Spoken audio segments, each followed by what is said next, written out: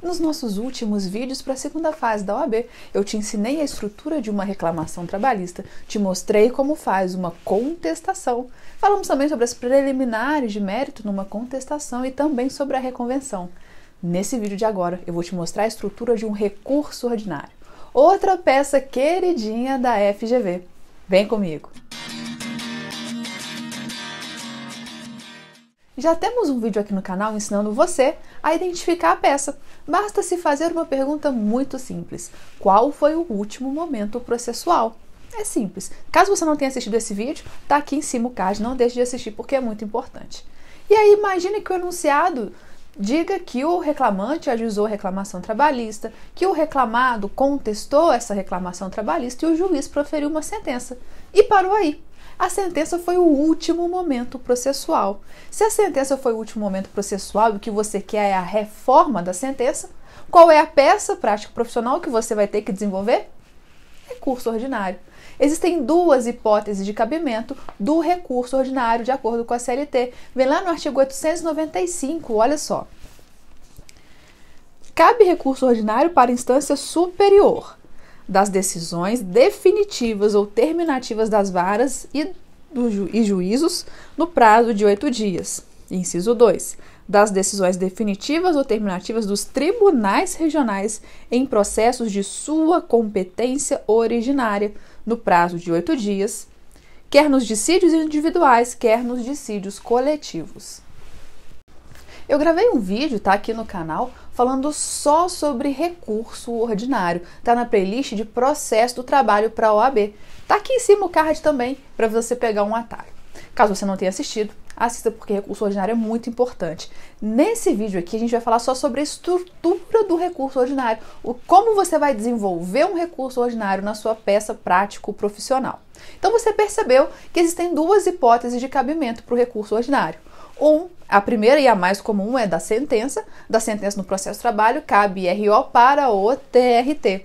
Mas existe a hipótese do inciso segundo desse artigo 895 do da CLT, que é no caso de decisões, no caso acórdãos proferidos pelos tribunais regionais em decisões de, em ações de sua competência originária para o TST. Então, pode ser sim que o TST julgue um recurso ordinário, desde que a competência originária seja do, TR, do TRT. Por exemplo, é o que acontece no caso de uma ação rescisória. Ação rescisória que você ajuiza no tribunal, você não vai ajuizar uma ação rescisória na vara do trabalho para desconstituir uma sentença que transitou em julgado. A maioria dos casos de mandado de segurança você também vai ajuizar diretamente no TRT. E ações coletivas. Enfim, Ações de competência originária do TRT, que você já vai distribuir direto para o TRT, não passa pelo primeiro juízo, quem julga é o TST. O recurso ordinário é composto por duas partes, a folha de rosto e a folha de razões. E é na folha de rosto aquela parte mais chatinha do recurso ordinário, que tem mais detalhes. O que, que você vai fazer na folha de rosto? A folha de rosto você vai endereçar para o juízo ad quem, aquele que proferiu a decisão por quê? Se você se lembra do recurso ordinário e assistiu ao vídeo sobre recurso ordinário, você sabe que é o juízo que proferiu a decisão quem vai fazer o primeiro juízo de admissibilidade do recurso. Então, você direciona o seu recurso ordinário para o juiz que proferiu a decisão, por isso que o endereçamento da folha de rosto é para o juiz que proferiu a decisão ele vai fazer o primeiro juízo de admissibilidade.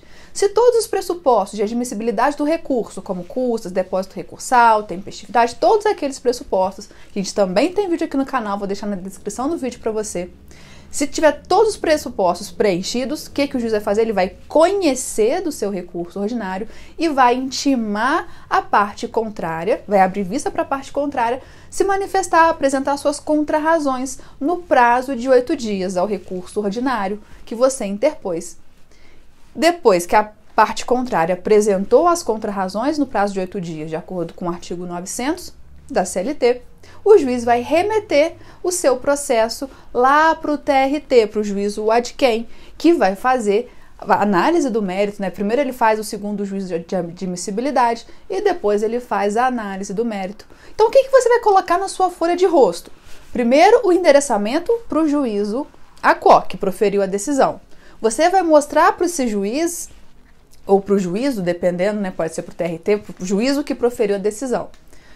Você vai mostrar para ele que todos os pressupostos de admissibilidade do seu recurso estão presentes. Você vai pedir a manifestação da parte contrária para abrir vista para a parte contrária apresentar suas contrarrazões ao recurso ordinário e depois a remessa dos autos ao tribunal de quem para que ele analise o mérito. Vai ficar mais ou menos assim a sua folha de rosto. Se você quiser adotar esse modelinho, pode ter certeza que ele vai te ajudar muito.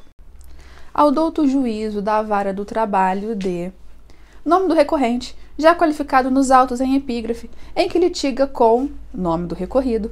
Também qualificado, vem a presença de Vossa Excelência, por intermédio de seu advogado adiante assinado, com fulcro nos artigos 895, inciso 1 da CLT, interpor recurso ordinário para o egrégio Tribunal Regional da região encontram-se presentes os pressupostos de admissibilidade do recurso, dentre os quais se destacam depósito recursal recolhido no valor de R cifrão, conforme guia em anexo, e custas processuais recolhidas no valor de R cifrão, correspondente a 2% do valor da condenação, conforme guia em anexo. Diante do exposto, requer o recebimento do presente recurso, a intimação do recorrido para apresentar contrarrazões ao recurso ordinário no prazo de oito dias, conforme artigo 900 da CLT, e a posterior remessa ao Egrégio Tribunal Regional do Trabalho da, três pontinhos, região. Nestes termos, pede deferimento, local e data, advogado OAB, número. Tá aí a estrutura da nossa folha de rosto do recurso ordinário. Vocês perceberam que ela é pequena, mas ela é cheia de detalhes importantes. Perceberam que a gente fez a hipótese de RO da sentença, do artigo 895, inciso 1 da CLT, da sentença cabe RO. Por isso a gente endereçou ao douto juízo da vara do trabalho D. Se a gente estivesse diante da hipótese do inciso 2 além, obviamente, de você fundamentado no artigo 895, inciso 2 da CLT, como ficaria o endereçamento naquelas hipóteses de competência originária do TRT? Lembra que eu disse que o endereçamento da folha de, razão, da folha de rosto é para o juízo que proferiu a decisão. E nas ações de competência originária do TRT, qual foi o juízo que proferiu a decisão? O próprio TRT. Então, no endereçamento, você vai colocar ao egrégio Tribunal Regional do Trabalho da três pontinhos, região. E sobre a região, se o enunciado disser qual é o estado em que tramita a ação, você vai lá no artigo 674 da CLT, se você não souber a região, e mesmo se você souber, eu aconselho você dar uma olhadinha, porque às vezes na hora da prova você confunde coloca a região errada, isso tipo, tira ponto. Então, coloca a região correta. E onde você vai achar a região? Lá no artigo 674 da CLT. Lá tem todas as regiões e os estados que pertencem a essa região. Então, se você viu lá, por exemplo, que é de Minas Gerais, você vai colocar para o Egrégio Tribunal da Terceira Região. Se você viu que é Rio de Janeiro, para o Egrégio Tribunal Regional da Primeira Região. Se você viu que é de Curitiba, para o Egrégio Tribunal Regional do Trabalho da Nona Região. E aí você vai lá e coloca de acordo com a região. E alguns outros detalhes importantíssimos que você precisa estar com a sua atenção máxima aqui na hora de fazer a folha de rosto, que é para custas e depósito recursal. Primeiro você vai observar qual é a parte que você está recorrendo, para qual, qual das partes você está advogando. Então, se você está na defesa dos interesses do reclamado, você vai fazer de uma forma. Se você está defendendo os interesses do reclamante, você vai fazer de outra forma. Se o enunciado disser que você foi procurado pelo reclamante, que teve a sua sentença julgada improcedente ou alguns pedidos julgados improcedentes, e você, no interesse do reclamante, redige a peça prático profissional cabível, você é o advogado do reclamante, você vai fazer depósito recursal? Não. Reclamante faz depósito recursal? Não. Nunca. Por quê? Porque o depósito recursal tem natureza de garantia do juízo. Se ele tem natureza de garantia do juízo, o reclamante não vai fazer depósito recursal. Se não houver condenação em pecúnia, também não há que se fazer nem reclamante nem reclamado depósito recursal. Mas dificilmente o seu RO não vai ter condenação em pecúnia, né? Vai, não vai ser sua obrigação de fazer, provavelmente vai ter condenação em pecúnia sim. Então, a, você precisa estar atento é, se for reclamante, reclamante não faz depósito recursal. E custas, reclamante recolhe custas? Depende. Se houver sucumbência recíproca, ou seja, se o processo for julgado parcialmente procedente, o reclamante ganhou apenas alguns pedidos, ele não paga custas. Por quê? O reclamante só paga custas se a sua ação for julgada improcedente. Se ele perder tudo. Se ele elencou 10 pedidos, perdeu 9 ganhou um, ele não paga custas. Agora, se ele perdeu todos, ele paga custas. Desde que ele não seja beneficiário da justiça gratuita. Se o reclamante teve a sua ação julgada improcedente, mas é beneficiário da justiça gratuita, também não recolhe custas. Se ele não for beneficiário da justiça gratuita e perdeu todos os pedidos, ele vai recolher 2%, só que aí é sobre o valor da causa, não sobre o valor da condenação, até porque não houve condenação. Então, no caso do reclamante, ficaria mais ou menos assim o depósito recursal e as custas que você deveria colocar na sua folha de rosto. Depósito recursal. Tendo em vista que o recorrente é o reclamante, não é exigido o depósito recursal. E custas processuais recolhidos no valor de R cifrão, correspondente a 2% do valor da causa, conforme guia em anexo. Além disso, você precisa ter muita atenção, mas é muita atenção, porque aí é pegadinha de segunda fase. Você tem que estar atento para saber se a parte recolhe depósito recursal, sendo reclamado, né? Eu já disse que reclamante não paga depósito recursal, mas e o reclamado? Não tem aqueles que, re que recolhem a metade, não tem aqueles que são dispensados do depósito recursal. E como você vai saber disso? Tem o artigo 899, parágrafo 9 e parágrafo 10. Lá no artigo 899, parágrafo 9 e 10, vai dizer quais são aquelas, aquelas pessoas que são dispensadas de depósito recursal e aquelas que pagam pela metade. Temos vídeo aqui no canal também falando sobre preparo, ou seja, esmiuçando essa questão de depósito recursal e custas. O card eu vou deixar aqui em cima para você. Resumindo, por exemplo, se o enunciado disser que o reclamado é um empregador doméstico, é uma microempresa, microempreendedor individual, empresa de pequeno porte, eles recolhem depósito recursal pela metade. Então, se a condenação foi de 10 mil, eles vão recolher quanto? 5 mil reais. Eles recolhem pela metade. Isso você tem que colocar onde? Na sua folha de rosto. Quando você abrir o tópico lá do depósito recursal, você vai dizer que tendo em vista ser empregada doméstica, ó, empregadora doméstica, está, é, recolhe o depósito recursal no valor de tanto correspondente a 50% da condenação. E tem aqueles também que são dispensados, a massa falida, a fazenda pública, entre outros. Eles são dispensados do depósito recursal. Então, muita atenção. Primeiro, para saber se você está defendendo o reclamante ou o reclamado. E sendo reclamado, se, vai, se eles são responsáveis por depósito recursal, se o enunciado não falar nada, apenas uma sociedade empresária, eles devem recolher o depósito recursal na sua integralidade, lembrando sempre que tem o limite do teto estabelecido pelo TST, que hoje está em R$ 10.059,15, mas que em agosto já vai mudar, vai para quase 11 mil reais. Se a condenação foi de 20 mil reais, eles depositam o teto. Se a condenação foi inferior ao teto, eles depositam o total da condenação. Então, muita atenção para esse detalhezinho que é o que pega aqui na folha de rosto. O mais importante é você saber se recolhe ou não depósito recursal e mandar direitinho.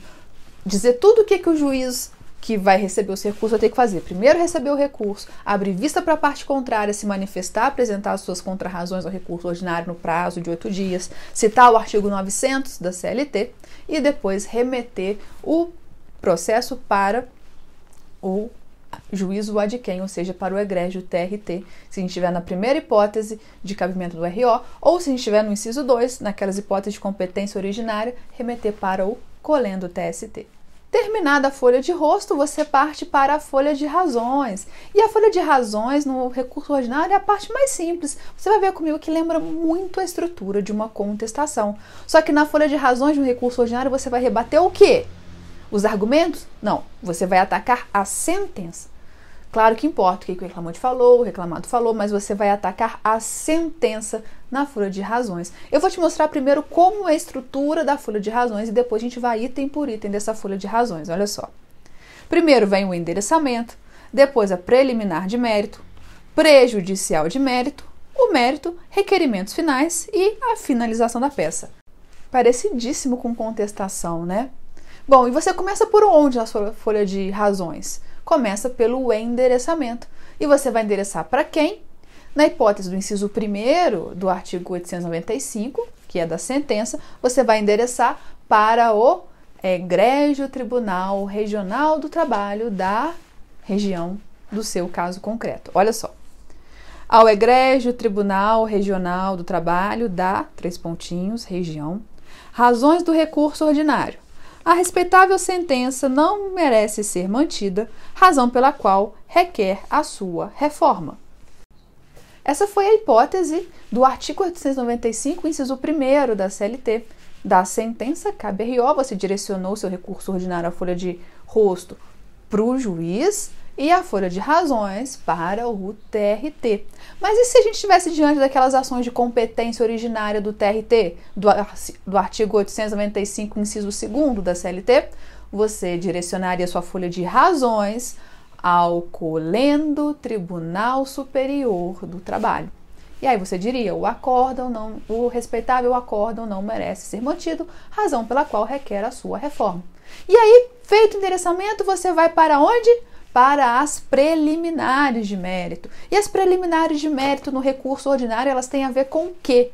Com nulidades processuais, com vícios do processo. E aí, se você está diante de uma nulidade da sentença, por exemplo, você vai pedir o quê? No seu, na sua preliminar de mérito? A nulidade da sentença e o retorno dos autos ao juízo, o ACO. Porque se você anulou a sentença, você não vai querer recorrer de uma sentença nula. É que o fato ele é tão grave a ponto de anular, de tornar a sentença nula esse vício processual. Então você não requer a reforma da sentença, você vai requerer o retorno dos autos ao juízo a qual aquele que proferiu a decisão, para que ele sane aquele vício e profira depois uma nova sentença. Imagina que o enunciado diga que o juiz indeferiu a oitiva um, da única testemunha do reclamante. O reclamante só tinha uma testemunha para comprovar que ele fazia horas extras. Mas na, chegou na audiência, o juiz indeferiu, porque o reclamado contraditou a testemunha, alegando que essa testemunha também já ajuizou uma reclamação trabalhista em face da mesma empresa, em razão disso ela seria suspeita, e o juiz concorda com essa contradita, indefere essa contradita sobre os protestos do reclamante e não é ouvida a testemunha, e era a única prova que o reclamante tinha para comprovar as horas extras. Percebeu que tem um problema no processo? Perceberam o cerceamento do direito de defesa do reclamante? Ele não pôde comprovar as suas alegações por um indeferimento do juiz na oitiva de uma testemunha. E o simples fato de uma testemunha ter um processo ajuizado em face do mesmo empregador a torna suspeita? Não a gente tem uma súmula, a súmula 357 do TST, dizendo exatamente o contrário, que não torna suspeita a testemunha o fato dela simplesmente ter litigado ou estar litigando contra o mesmo empregador, ou seja, houve um vício do processo. Essa sentença ela deve ser anulada. E o que que o reclamante, você recorrente nesse caso, vai pedir? A nulidade da sentença e o retorno dos autos ao juízo a quo para ter uma nova instrução. Nessa instrução, ouvir a testemunha e aí sim o juiz vai poder proferir a sentença com o direito de defesa de ambas as partes. Ficaria mais ou menos assim nesse exemplo que eu dei, essa preliminar de mérito. Olha só. Preliminar cerceamento de defesa. O juiz indeferiu a oitiva da única testemunha do reclamante ao argumento de estar litigando contra o reclamado, cerceando seu direito de defesa. Esse é o fato. Nos termos da súmula 357 do TST, o simples fato de litigar contra o mesmo empregador não torna a testemunha suspeita. Assim, o indeferimento da oitiva da testemunha implica o cerceamento de defesa, o que viola o artigo 5 inciso 55 da Constituição Federal. Esse é o fundamento. E aí você faz o pedido, que é o quê? Diante do exposto, requer a nulidade da sentença e o retorno dos autos ao juízo, a qual para que seja reaberta a instrução processual e ouvida a testemunha do recorrente. Esse é o pedido. e, sucessivamente, requer a análise do mérito. Feita a preliminar de mérito, você passa para a prejudicial de mérito. E sobre o que, que versa a prejudicial de mérito aqui no recurso ordinário? Prescrição e decadência. As mesmíssimas coisas lá da contestação, prescrição e decadência. Mas aqui no recurso ordinário tem uma diferença. Tanto o reclamante quanto o reclamado podem arguir a prescrição em prejudicial de mérito no recurso ordinário. E aí você deve estar pensando, mas Marina, o reclamante vai arguir a prescrição do direito dele? Não, gente. A não ser que ele. Não, não vai. O reclamante não vai arguir a prescrição do seu próprio direito. Mas, o que, como que ele pode arguir a prescrição, então, em sede de recurso ordinário? De uma, quando o juiz acolhe a prescrição arguída na contestação, ele vai pedir a reforma daquela prescrição que o juiz acolheu mal. Imagine que o, o reclamado diga que na sua contestação, arguu a prescrição bienal, dizendo que o reclamante ajuizou a reclamação trabalhista mais de dois anos do término do contrato de trabalho. E o juiz acolhe.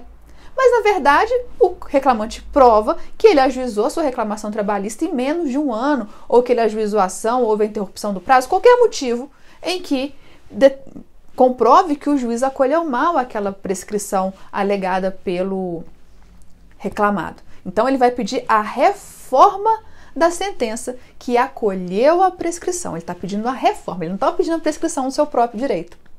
Já o reclamado, ele pode arguir tanto a reforma da sentença, e aí ele vai pedir a reforma da sentença que não acolheu a prescrição aventada por ele na contestação. Imagine que ele tenha é, fundamentado que ou ocorreu uma prescrição bienal, porque o reclamante ajuizou a reclamação trabalhista mais de dois anos após o término do contrato de trabalho, e o juiz não tenha acolhido essa prescrição, de, tenha falado que não transcorreu o prazo, e no recurso ordinário ele vai pedir a reforma da sentença que não acolheu a prescrição aventada na contestação.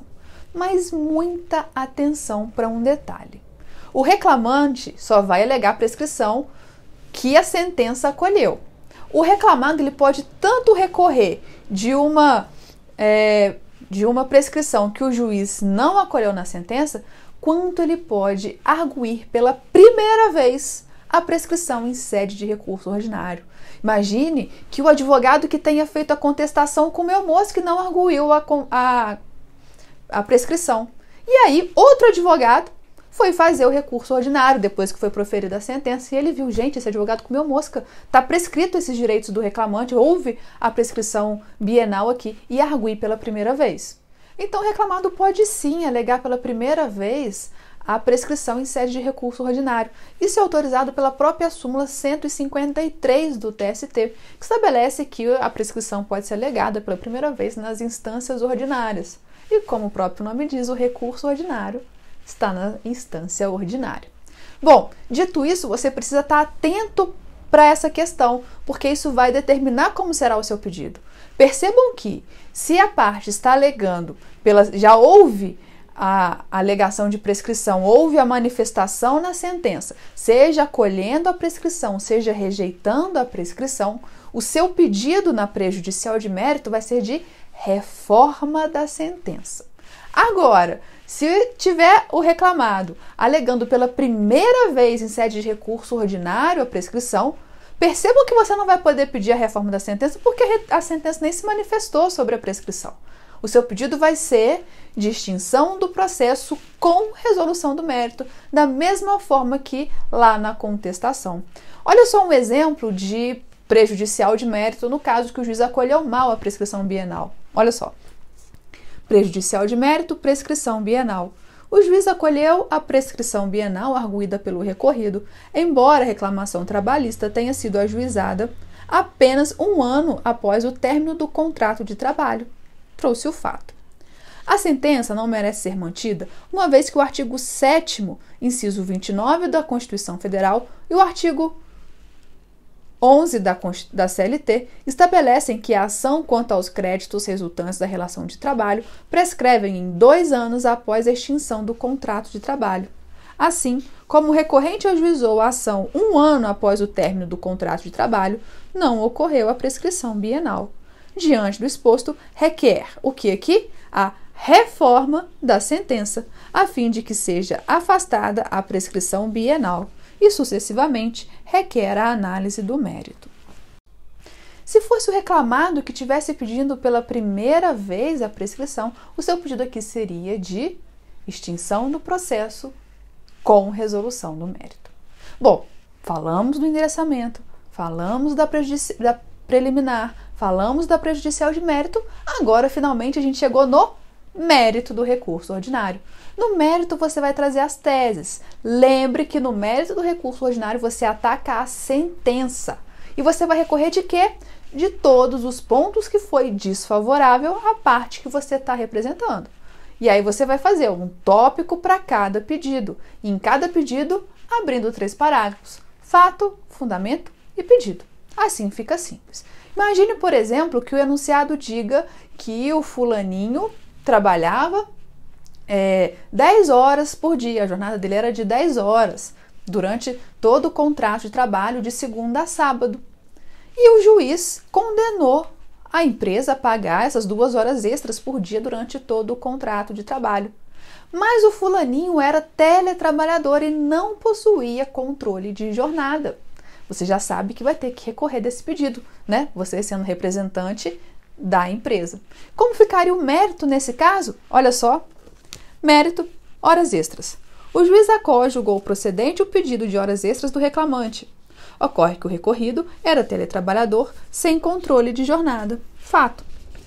A sentença não merece ser mantida, uma vez que, como teletrabalhador, o recorrido está excluído do capítulo da duração da jornada, razão pela qual não faz jus às horas extras deferidas. Esse é o fundamento. Diante do exposto, requer a reforma da sentença para julgar improcedente o pedido de horas extras. Aqui também é bem parecido com a contestação, o finalzinho, né? O, o mérito é muito semelhante. Você vai trazer o fato, só que aí o fato você está atacando a sentença e não a reclamação trabalhista. Você traz o que, que o juiz condenou, no caso do. Se você tiver é, defendendo os interesses do reclamado, traz o que, que o juiz condenou. Se você estiver defendendo os interesses do reclamante, você vai nos fatos dizer o que, que o juiz julgou improcedente. Nos fundamentos, você vai rebater, dizer por que, que o juiz julgou mal e por que, que essa sentença merece ser reformada. E no pedido, você pedir simplesmente a reforma da sentença para julgar improcedente o pedido que você está recorrendo. Você faz, abre um tópico para cada pedido que está recorrendo. Depois que fez o mérito, você vai fazer os seus requerimentos finais. E o que, que você quer aqui nos requerimentos finais de um recurso ordinário? Primeiro, você quer o conhecimento do recurso. Depois, o acolhimento das preliminares, das prejudiciais de mérito. E no mérito, você vai querer o provimento do recurso para a reforma da sentença. Então, guardem essas palavras: conhecimento do recurso, para ele ver que todos os pressupostos estão presentes, e ele vai conhecer do recurso. Depois que ele conheceu do recurso, ele vai analisar a preliminar e as prejudiciais de mérito. Preliminar e prejudicial você requer o acolhimento. E no mérito você quer o quê? O provimento. Provimento é ele julgar procedente o seu recurso. Então você quer o seu o provimento do seu recurso para reformar a sentença. Fica mais ou menos assim. Requerimentos finais. Ante o exposto, requer o conhecimento do recurso, o acolhimento da preliminar para declarar a nulidade da sentença e o retorno dos autos para o juiz o ACO. Sucessivamente, o acolhimento da prejudicial de mérito para, e aí você diz se é para reformar a sentença ou para extinguir o processo com resolução do mérito, e sucessivamente, no mérito, requer o seu provimento para fins de reforma da sentença. Pronto, depois dos requerimentos finais, vem aquela parte que todo mundo adora, a finalização da peça. Nesses termos, pede deferimento, local e data, advogado OAB, número simples, né? O recurso ordinário ele não é complicado. Ele é chatinho de fazer, a folha de rosto, a folha de razões é bem parecida com a contestação, e o recurso ordinário costuma ficar um pouco grande, então não salte linhas à toa. Pode fazer exatamente uma linha embaixo da outra, da folha de razões para a folha de rosto, não da folha de rosto para a folha de razões. Não precisa saltar ali, vai escrevendo direto. Cuidado para não deixar de falar de nada. E é simples.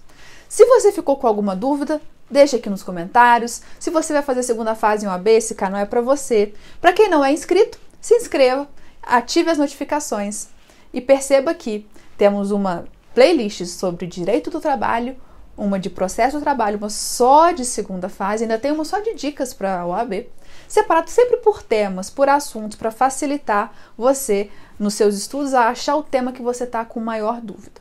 E eu te espero aqui no próximo vídeo. Até lá!